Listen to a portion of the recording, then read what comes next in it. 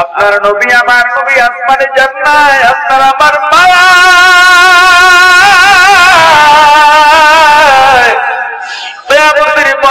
সবাই যখন নিজেকে নিয়ে ব্যস্ত থাকবে, ওই সময় আপনার আমার নবী তখনও আপনার আমার জন্য নবীজি শেষ জয় করে কাঁদবেন। এরপর নয় করে তিরিশ লক্ষ মাইল দূরের কথা, কাছের কথা নয়। ওই সূর্যের মধ্যে নয়টা মতান্তরে তেরোটা ছিদ্র আছে। একটা মাত্র ছিদ্র খোলা। বারোটা ছিদ্র বন্ধ। ওই একটা ছিদ্রের আলো বা আগুন উপরের দিকে যায়, দুনিয়ার দিকে আসে না। অর্থাৎ সূর্যটা আমাদের দিকে উল্টা ভাবে আছে সূর্যের আসল মুখটা উপরে যায়। দৈনিক সত্তর হাজার রহমতের তারা পানি ঢালতেছে। এরপর চোদ্দ মাসের রৌদ্র, ভাদ্র মাসের রৌদ্রের তাপ সহ্য করতে পারি না। এমতের নয় কোটি তিরিশ লক্ষ মাইল দূরে থাকবে না। প্রত্যেকটা লোকের, প্রত্যেকটা মানুষের আধা হাত থেকে সোয়া হাত উপরে এসে পড়বে। একটা নয়, বারোটা ছিদ্র, মুখ সব খোলা থাকবে। মনের বলে একজন ফিরিস্তাও এক ফোঁটা পানিও ছাড়বে না। বরং আল্লাহ রাগ করে গোসা করে সূর্যকে বলবেন, ওরে সূর্য তোর মধ্যে যত তাপ আছে ছেড়ে দে ছেড়ে দে ছেড়ে দে।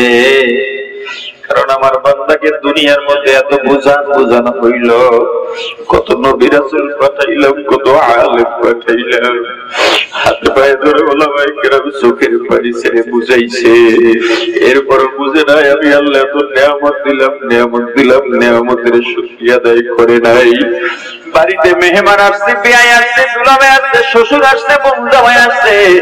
মেয়ের জামাই আসছে বাড়িতে মুরগি আছে, একটা বাচ্চাওয়ালা মুরগি, তিন দিন আগে বাচ্চাগুলো ফুটেছে। আর মুরগি নাই।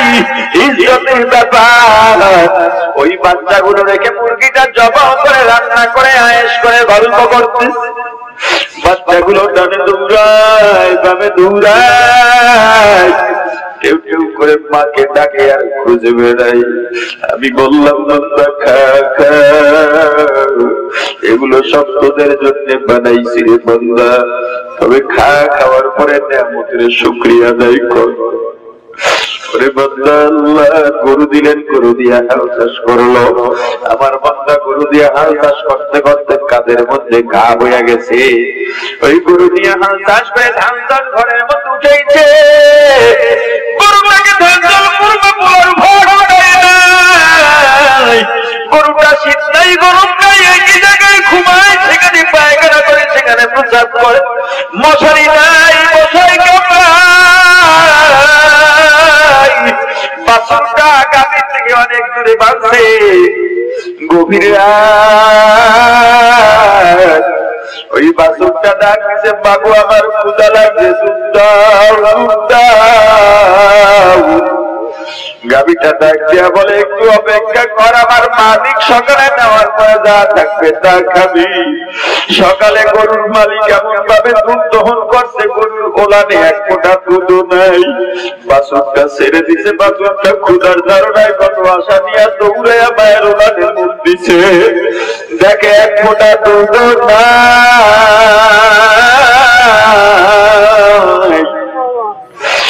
বাসনটা মায়ের ওলানের মধ্যে জোরে জোরে পাথা দিয়া কুটা দেয়। দেখে এক কোটা দুধ বাইরে না কোনো দুধ বাইরে না। বাসনটা গিয়ে মায়ের মুখের সাথে মুখটা ঘষে।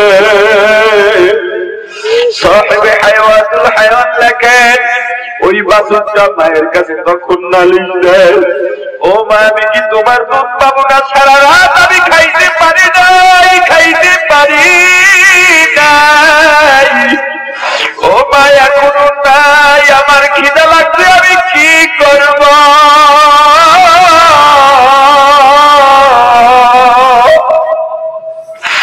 দেখবেন ওই গরুটা তখন বাসুরটার কপালে বাসুরটার গালে বাসুরটার গায়ে চিন্তা দিয়া চাটে। ওই গরুটা বাসুরটাকে আদর করে আর বলে ধৈর্য হারা হবি না, রাগ করবি না। উনি আমার মালিক মালিকের অবাধ্য হওয়া যাবে না আল্লাহ ওনার খেদমতের জন্য আমাদের পাঠাইছে। দেখোস না আমার কাঁধের মধ্যে ঘা এরপর এখানে জোয়াল বেঁধে যখন আমাকে হাঁটতে বলে, আমার কষ্ট হয়, আমি ব্যথা পাই। এরপর আমার পিঠের মধ্যে জোরে জোরে লাঠি দিয়ে আঘাত করে পিঠের চামড়া উঠাইয়া দেয়। তবু ওদের গোলাপি করা লাগবে, আল্লাহ ওদের গোলামির জন্য পাঠাইছে। আমি বললাম, এ বান্দা, খা খা। বাসুরটাকে পাহাড় করে খাইছ? তবু আমি আল্লাহর নিয়ামতের শুক্রিয়া আদায় কর। একটা কুকুর বাড়ি সারা রাত পাহারা দেয়, কিছুই দিলাম না, কাটা জুটা ছাড়া। ফজরের পরে যখন দরজাটা খোলে, দরজার আওয়াজ পাইলে কুকুরটা দৌড়াইয়া গুটাইয়া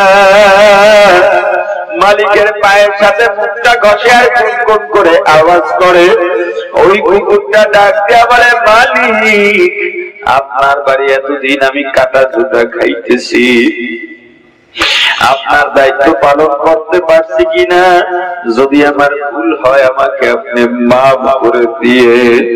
মালিক কুকুরের ভাষা তো বুঝেন, একটা লাথি মেরে কয়েক হাত দূরে ফেলাইয়া দেয়। ওই কুকুরটা চাইলে মালিকের হাতে কাপড় দিতে পারত, মালিকের পায়ে কাপড় দিতে পারত। কিন্তু কুকুরটা দূরে গিয়া মালিকের দিকে অসহায় হইয়া তাকাইয়া থাকে।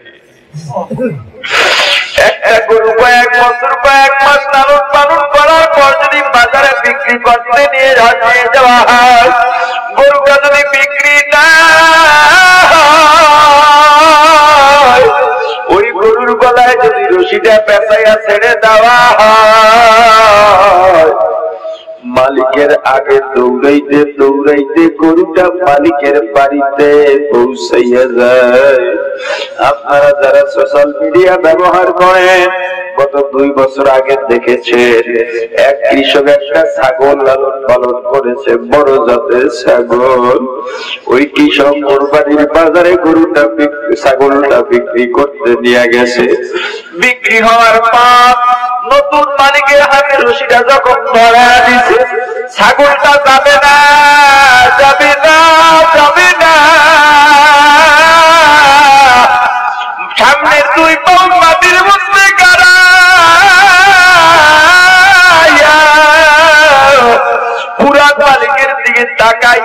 দুই চোখের পানি ছেড়ে দি, দুই চোখের পানি ছেড়ে কাঁদে। পশুর কান্নার কোন অনুভূতি নাই, হাসার কোন অনুভূতি নাই, কিন্তু ছাগলটা কাঁদতেছে। নতুন মালিক বলে, ভাই আবার টাকা ফেরত দাও, তোমার ছাগল নিয়ে যাও। এই ছাগল আমি নিতে পারব না পারব না। কৃষক বেচারা মাটির মধ্যে বসে পড়ছে, ছাগলটাকে ধরে বলতেছে, ওরে ছাগল আমার এই ছোট মেয়েটা, ছোট ছেলেটা তোকে আদর করত, ঘাস খাওয়াইতো গোসল করাইয়া দিত। তোকে যখন বাজারে নিয়ে আসি, দেখেছি ওরা কাঁদে। কিন্তু তুই যদি এই মালিকের সাথে না যাও, তাহলে ওদের ঈদের আনন্দ দিতে পারব না। তোর বিক্রির টাকা দিয়া আমি ওদের ঈদের বাজার করব। তাছাড়াও আমি আর তোর মালিক নাই মালিক নাই। যার হাতে রশি দিয়া দিছি, সেই তোর থেকে মালিক। ছাগলটা কি বুঝতে পারছে আল্লাহ ওর মধ্যে কি বুঝ ঢুকাই দিয়েছে আল্লাহ ভালো জানে। কথাটা বলার সঙ্গে সঙ্গে পিছনে দুই পায়ের উপরে ছাগলটা দাঁড়ায়।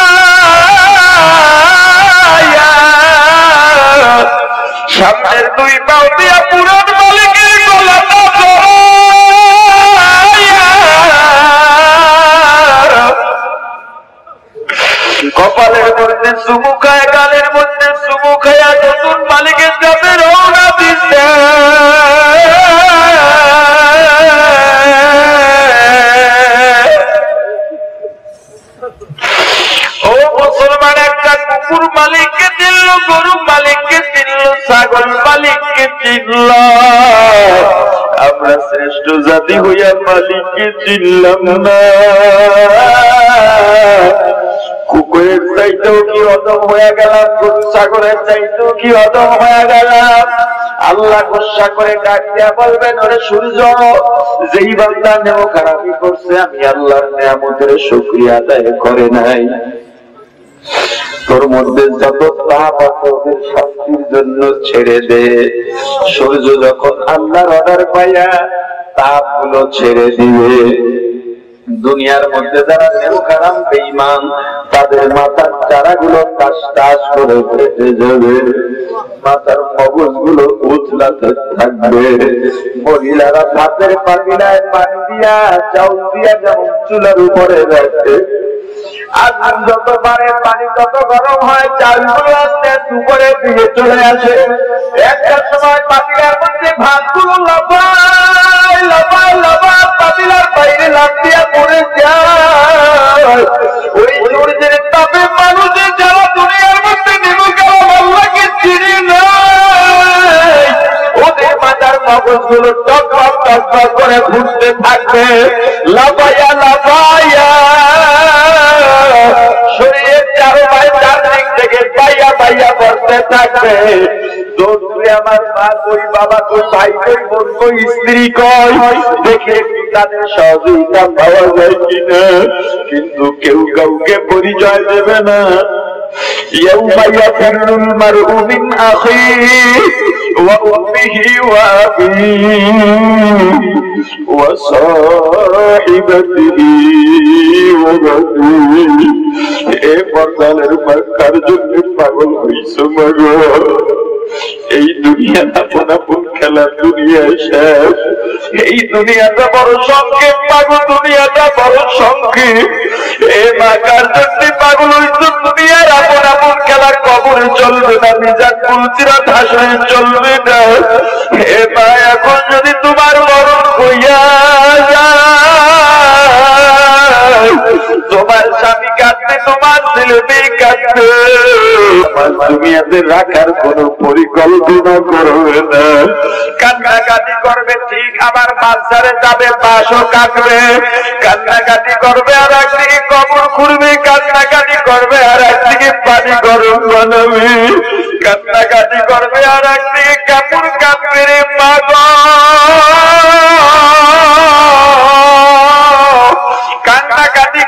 আর একদিকে মসজিদ থেকে খাটিয়া নামাবে। ও মা, পাতলা সাদা পাঁচখানা কাপড়ের প্যাকেট বানাইয়া জানাজা পড়াইয়া। তোমার মুস্তাদা, তোমার লাশ ওই চারজনে কাদের মধ্যে নিয়ে যখন কবরের দিকে রওনা দিবে, বাগ। তোমার সন্তানগুলো মা মা বলে ডাকবে আর কাঁদবে আর তোমার পিছনে দৌড়াবে। যখন কবরে গামছা লাগাইয়া কবরের মধ্যে রাখবে বাজার জলি দিয়া কলা পাতা বিছা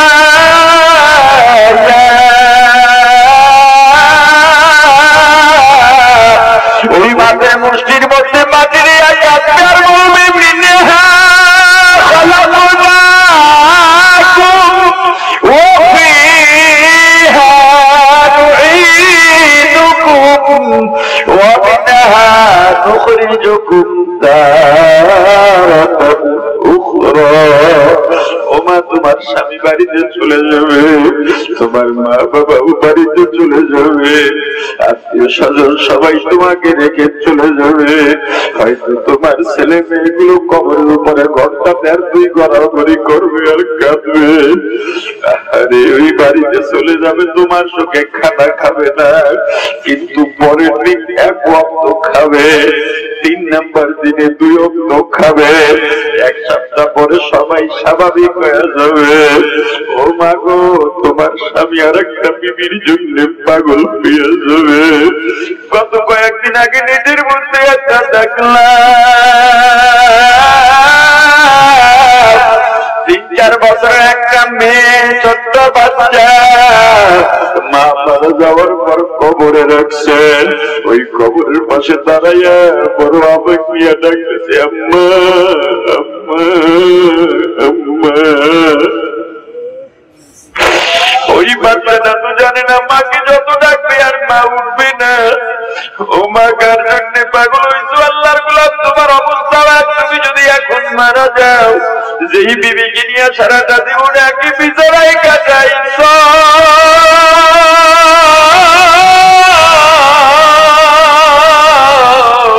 যেই সন্তানের জন্য তুমি জীবনটা ত্যাগ করলা, কয়েকদিন আগে আমি নেত্রকোনা মাহফিলে যাব, আগে রওনা দেওয়া দরকার।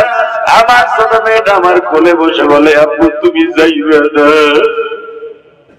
তুমি মাহফিল করো, আমাদের সময় দাও না, তুমি ঘরে থাকলে আমাদের ভালো লাগে। আর এক মেয়ে বলে, বাবা, দূরে গেলে ভিডিও কলে কথা বলবা, তোমাকে না দেখলে ভালো লাগে না। বাচ্চার মাকে বললাম দেখতো কত আদর, কত সম্মান, কত মায়া, কত ভালোবাসা। কিন্তু এই মুহূর্তে যদি আমি মরে যাই যেই আছি? যেই মেয়েগুলো রাত বারোটা একটা পর্যন্ত ঘুমায় রাখব তুমি ওরা একটা একটা পর আমাকে আর মনে রাখবে না, তুমি একটা স্বামীর জন্য পাগল হয়ে যাইবা।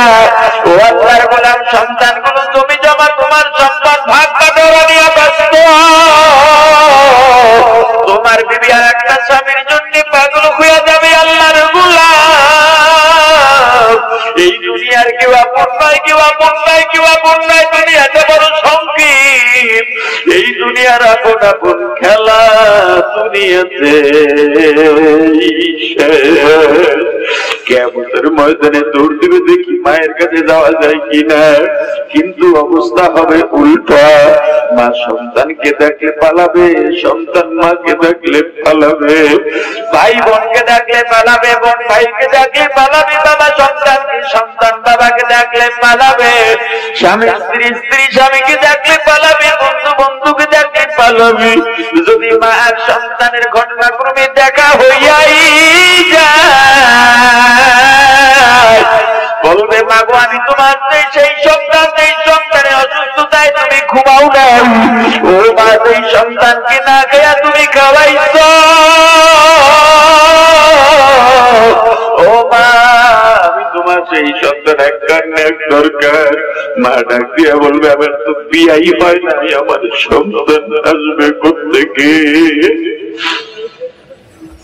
সমস্ত মানুষগুলো পাগলের মতো ছুটাছুটি করবে ওই সময় নবীজি যায় বইরা উম্মতি উম্মতি, বলে কাঁদবে আর একদিকে জাহাজ নাম হাউ হাউ করে আসবে। আল্লাহ আমাদের খাবার দেন, আমাদের খাবার দেন। কার জন্য পাগল হইসা লাভ নাই লাভ নাই লাভ নাই। যুবক তোমার কি একটু দয়া হয় না, মায়া হয় না, ভয় কি এ যুবক, কতটা পুলিশ সেনাবাহিনীর সদস্য, কত কলেজ ভার্সিটির ছাত্র? তাকাইতে মনে হয়, মাওলানা মুফতি, তুমি কেন পারবা না? এ যুবক কত মানুষ, কত যুবক নদীতে ডুবে মারা যায়, গাড়ি অ্যাক্সিডেন্টে মারা যায়। এর যুবক, তুমি যদি ওই জায়গায় থাকতে আজকে, তুমিও হয়তো লাশ হয়ে যাইতা। এ যুবক, তোমার হাতে পায়ে ধরে বলে যুবক তোমার হাতে পায়ে ধরে বলে যাই, তুমি যদি হুজুর, আমার পায়ে লাগবে। আল্লাহর কসম আল্লাহর কসম। তোমার পাও দুইটা পাড়ায় দাও, হাজার মানুষের মাঝে আমি তোমার পায়ে হাত দিয়ে তোমাকে অনুরোধ রে ভাই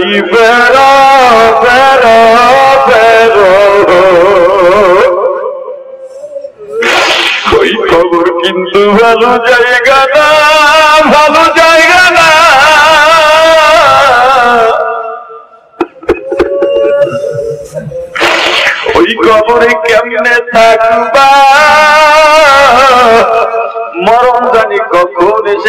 যায় কেউ যাবে না এ যুবক ফেরো রে ভাই, ফেরো ফেরো। ফেরো নবীজি শেষদায় পরে উন্মতি উন্মতি বলে কাঁদবে নবীজিকে আল্লাহ ডাক দিয়ে বললেন, পয়গম্বর, আপনার মাথা আপনাকে হাউজে কাউসারের দায়িত্ব দিয়ে দিলাম। আমার নিচের আপনার জায়গা দেন।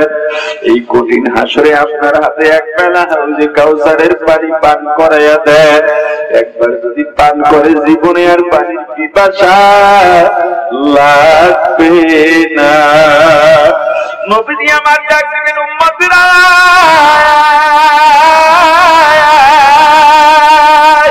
দুনিয়ার মধ্যে দেখার জন্য কত পাগল ছিল ডাকাতি করেছ। ওলামাই কিরামের মুখে আমি নবীর ইস্তিবাদের কথা শুনে আমি নবীকে ডাকার কত আকাঙ্ক্ষা করেছ। আমি নবীকে ডাকতে পারো না এই নবীকে ডাকতে পারো না